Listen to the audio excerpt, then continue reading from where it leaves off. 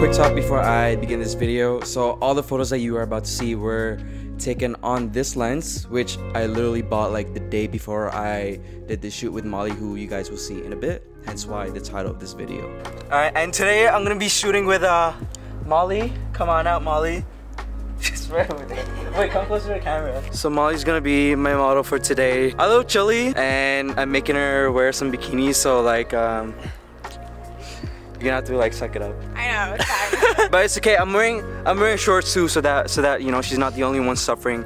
So yeah, we're in Staten Island today, and the reason why we chose morning because nobody's really around the island during the morning, which is why we chose to shoot at this time. So yeah, stay tuned. First location or first spot is just right over here. Yeah, this wasn't really part of the original plan because I, I told Molly to like, how about we just we just change our outfit right here, right now. And then I was like, wait, you know what? This spot looks pretty cool. So I'm like, okay, we just we just use the spot as like our first spot, I guess. I'm like directing Molly to like do whatever, but there's literally bugs everywhere in Everywhere. this building.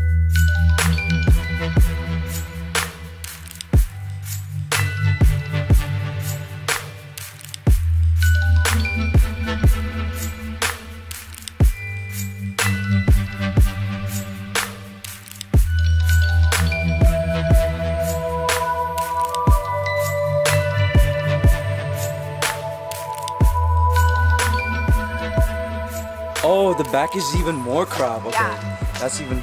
Alright, I didn't even notice. Yeah. I cut it with an X-Acto knife. I was like shooting with a photographer and he was like really dark and cool. Yeah. And he was like, can you, can I get a video of you cutting this shirt with a knife? And I was like, okay.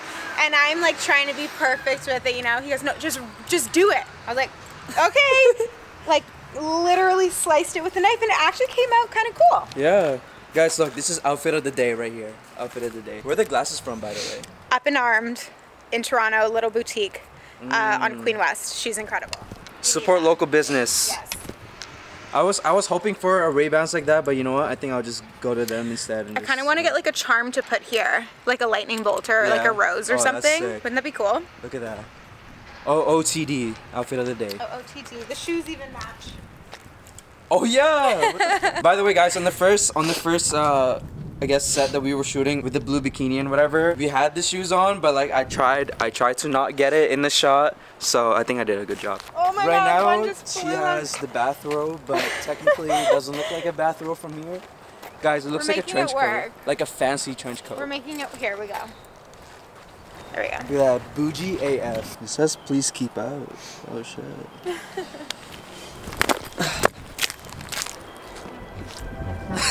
and I'm in.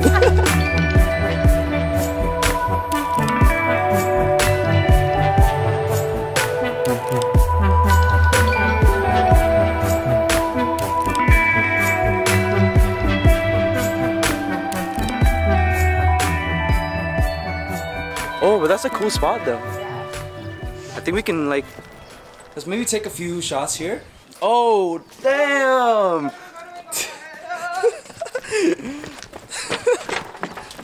literally jump in the water. There's literally so many like flies or mosquitoes Oh here. I guess they're called mosquitoes. Hey duckies, can you like please leave us alone? Thank you. if you want to like get past us, just go around over there. All right, so cause cause we're in the middle of the photo shoot right now.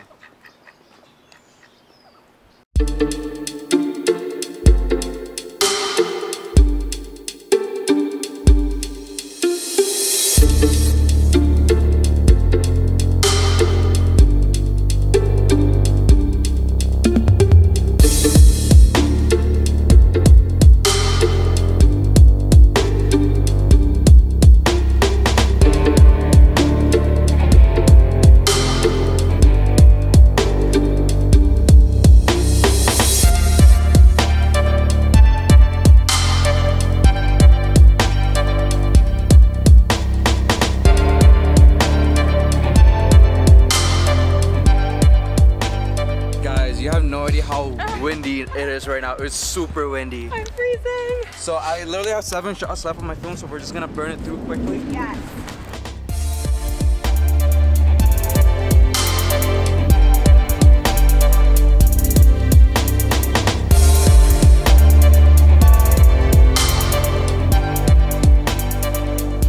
All right, so I freaking love this lens. I know I said the same thing with the uh, 7200 f2.8 lens that I had a vlog on previously, but I would say that this lens is up there in my opinion because it's lighter than the other two lenses that I own. This one is about 1.6 pounds, which is pretty light in my opinion. It also goes from 24 to 120 millimeter focal range, which is the most useful focal range and on top of that it's at an f4 constant aperture. Now i know it's not an f2.8 lens but for me personally i don't really care and i don't think your clients or your models would care anyways except for like the gearheads out there who like to you know get really technical with their stuff. Now the constant f4 aperture is good enough for me anyways. Like i don't really need any of these crazy bokehs like you know the f2.8 1.8 uh, 1.4 1.2 lenses especially when i'm shooting outside like f4 is already good enough for me. And if i like really want to like achieve that crazy bokeh look for me personally i would just you know zoom out into like the longer focal length because the f4 is good enough for that. You know the f4 can achieve that for you. There are a few other people out there who are not really a fan of this lens and i don't know why but for me and a lot of other photographers this lens is freaking amazing. Now, if you're someone who's going out on an adventure or if you know you're gonna be locking, locking, walking for a long time and you want to be traveling light, this lens is the lens I would recommend for you. Now, when I bought this lens, I only paid $530 for it, which is a huge, huge steal for me because the retail price cost around, oh, I'm talking about Canadian dollars. So I paid 530 Canadian dollars used for it. And the retail price is around 1400 Canadian dollars, and that's before tax. And I know there are some uh, people out there who are selling this lens used for about 700 to 800 Canadian dollars, which is, you know, this is a huge steal for me. Now, I know I was a little bit skeptical at first um, when I met with the seller and I saw this lens for the first time, but there is literally no scratches on the body or on the lens at all. There is no fungus or dust inside the lens and there's no separation and this lens literally is in mint condition like it just came out of the box brand new. Like I don't know if you can see but it's so mint like it's in really really good condition. Like none of the markings on numbers are faded not even the gold is faded like it's it literally looks brand new for me like it's a huge steal and obviously you know when I met with the seller I tested this lens out and like it worked fine. I mean obviously as you can see by the vlog like this lens was working fine. All the photos turned out great so yeah. I also forgot to mention that this lens has a 77 millimeter filter thread.